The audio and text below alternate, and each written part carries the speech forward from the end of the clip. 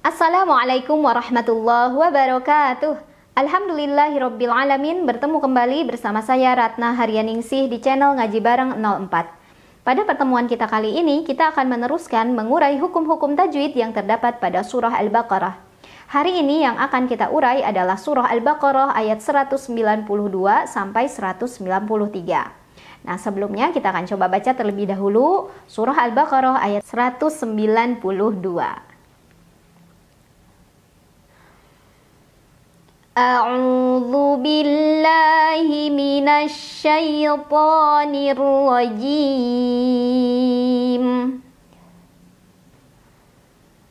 بسم الله الرحمن الرحيم. فإن انتهوا فإن الله غفور رحيم فإن ada ikhfa akrab karena ada nun sukun yang bertemu dengan huruf ta. Cara membaca nun sukunnya samar-samar menuju huruf ta sambil dengung. Jadi bukan fa'inil, bukan fa'inin, tapi fa'inil ta ya. Ini ikhfanya ikhfa akrab karena huruf ta itu masih akrab atau masih dekat makhrajnya dengan huruf nun ya. Sehingga masih uh, tingkat kesamarannya kesamarannya masih lebih besar dibandingkan dengan dengungannya. Fa inil tahau hau ada huruf lin karena ada waw sukun sebelumnya fathah. Cara membacanya cukup dilembutkan atau dilunakan.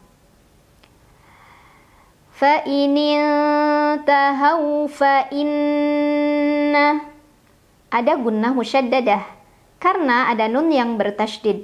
Cara membacanya, nunnya dibunyikan dengan dengungan ditahan sampai berasa bergetar halus ke hidung. Fa Allah lam jalalah dibaca secara tafkhim karena huruf sebelumnya yaitu nun berbaris di atas, maka bacanya tebal fa Allah Kemudian masih pada lam jalalah, masih pada lafaz Allah ya, ada alif lam syamsiyah. Karena ada alif lam yang bertemu dengan huruf syamsiyah yaitu lam. Maka cara membacanya alif lam tidak dibaca. Jadi kita masukkan langsung ke lam jalalah.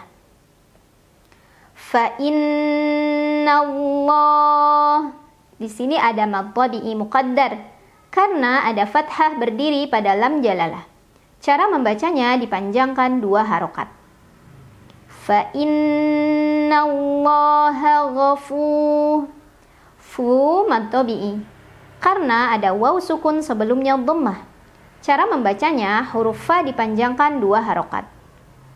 Ghafurur rahim. Ra-nya dibaca tafkhim karena ra berbaris dan barisnya di atas maka bacanya tebal dengan cara mengangkat pangkal lidah. Rurra ada idgham bila gunnah karena ada tanwin dhammah bertemu dengan huruf ra.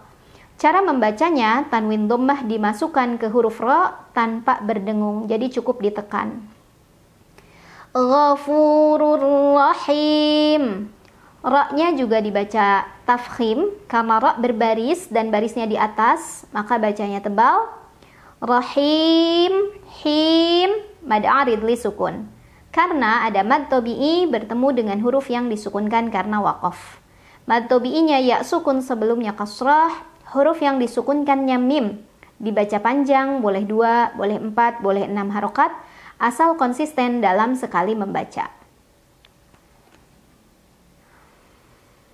وقاتلوهم حتى حتى لا تكون فتنة ويكون الدين لله. فإن انتهوا فلا عدوان إلا على الظالمين. وقا قا مد طبيعي مقدر. Karena ada fathah berdiri pada huruf qaf. Cara membacanya huruf qaf dipanjangkan dua harokat saja. Wa qatilu lu juga mantobi'i karena ada waw sukun sebelumnya dhammah. Cara membacanya dipanjangkan lamnya dua harokat. Wa qatiluhum. Hum. Ada idhar syafawi. Karena ada mim sukun bertemu dengan huruf H. Cara membacanya mim sukun dibaca jelas. Wa qatiluhum hatta. Ta juga mad Karena ada fathah berdiri pada huruf ta. Dibaca panjang dua harokat. Hatta la. La mad karena ada alif sebelumnya fathah. Dibaca panjang dua harokat. La taku. Ku juga mad karena ada waw sukun sebelumnya dhammah. Maka dibaca panjang dua harokat la takuna fitnatu ada idgham bi gunnah karena ada tanwin dhammah bertemu dengan huruf waw. Cara membacanya tanwin dhammah dileburkan atau dimasukkan ke huruf waw sambil dengung. Fitnatu wa yaku ku mantobi'i karena ada waw sukun sebelumnya dhammah dibaca panjang kafnya dua harokat. Wa yakunaddi. Ada alif lam syamsiyah. Karena ada alif lam yang bertemu dengan huruf syamsiyah yaitu dal. Cara membacanya alif lam tidak dibaca jadi langsung kita masukkan ke dal. Wa yakunaddi di mantobi'i karena ada ya sukun sebelumnya kasrah dibaca panjang dalnya dua harokat. Ad-dinu lillah Lam jalalah dibaca secara tarqiq karena huruf sebelumnya yaitu lam ya berbaris kasroh. Maka bacanya tipis la tanpa harus menaikkan pangkal lidah.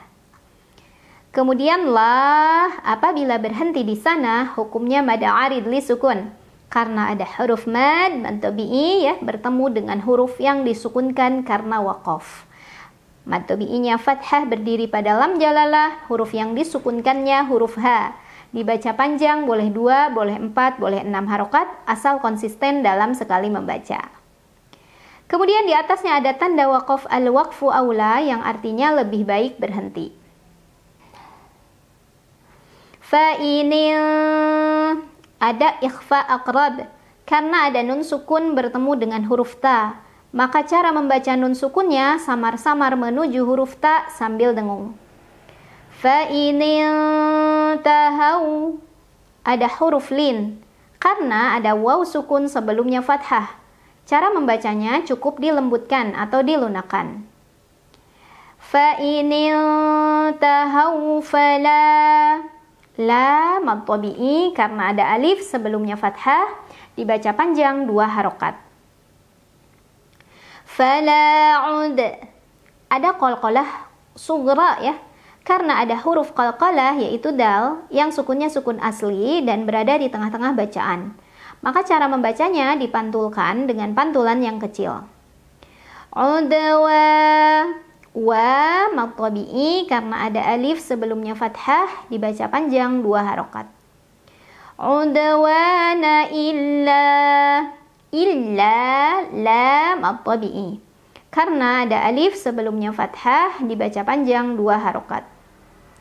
Illa ala Allah ala Allah. Ada alif lam syamsiyah.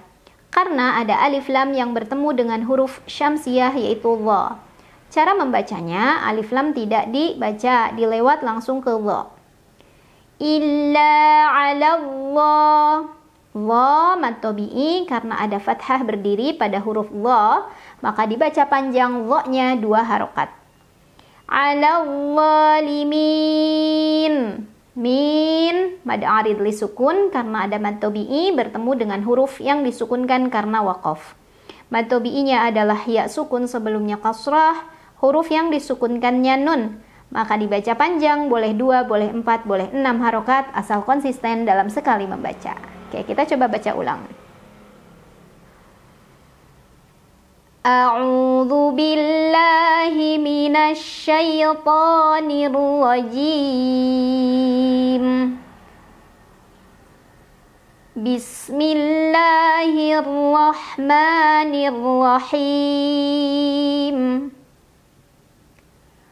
فإن انتهوا فإن الله غفور رحيم. وقاتلوهم حتى لا تكون فتنة ويكون الدين لله.